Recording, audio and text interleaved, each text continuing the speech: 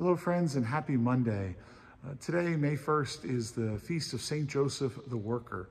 It's not very old on the church calendar, really since 1955, and it was done by the Pope in response to uh, May Day, May the 1st becoming a, day for uh, communists to push the rights of workers.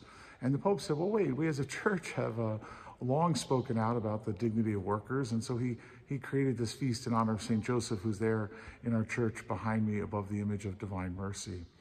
Uh, Joseph worked, right? We know from the scriptures he was a carpenter, which scholars today tell us was more of a stonemason. There wasn't a whole lot of wood uh, in, in, Nazareth or in that part of the world at all because trees don't really grow that, that, that well because of the soil. Um, but, but he worked. He, he provided for Mary. He provided for Jesus. Not just financially provided, uh, but also provided an example.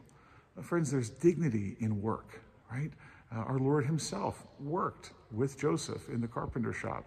And, and, so sometimes we have this attitude, especially on a Monday morning, like, oh, I got to go to work, or oh, I can't wait till it's Friday, or it's quitting time, right?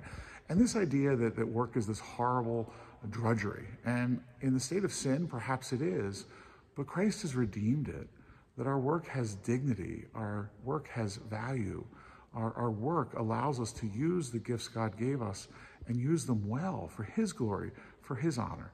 So please have that attitude about your work. If you're blessed to be retired, give thanks today for the years of work that you had and pray for those who are working today. And may Almighty God bless you and keep you, Father, Son, and Holy Spirit. Amen.